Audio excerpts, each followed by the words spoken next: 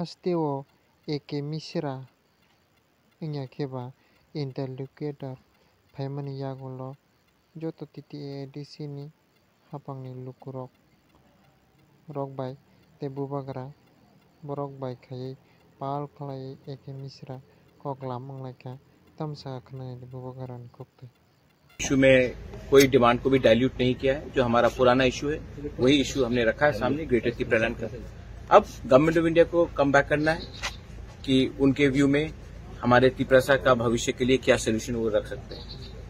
तो हमने अपना पॉइंट रख दिया है उन्होंने सुना है। अब उनके बॉल उनके कोर्ट में वो क्या बोला? वो जो भी बोलेंगे राइटिंग में देंगे आप उनसे पूछिए लीजिए उसने क्या बोला। लेकिन हमने जो भी बोला है अपने कम्युनिटी के लिए बोला है अपने बारे एक डिमांड नहीं किया कम्युनिटी के बारे में। Sir, uh, as you see the greater Tipraland, and you have also uh, raised the issue of constitutional solution. What type of constitutional solution would be good for this? We have asked, according to us, a separate administration and a demand for greater Tipraland is the final solution.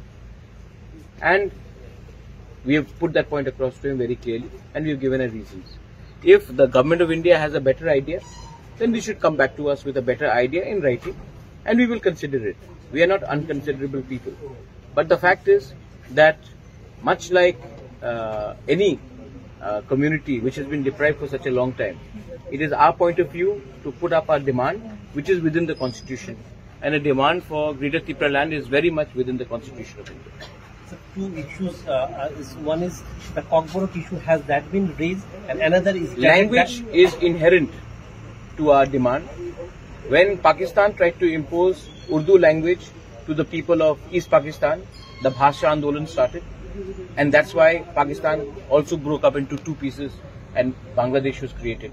So it is in the people should understand that language cannot be dominated and whether it is Kokti Prasa, Kaubru or Kok Borok, whatever it is, it is a language of the indigenous people and our language should be respected and our script and our demand for a script should also be respected and uh, and about the direct funding to the tta.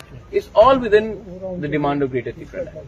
Anything that we have demanded, everything comes under the demand of Greater Tipraland. We don't want to go piecemeal. Our demand is very much constitutional, and we put up a point.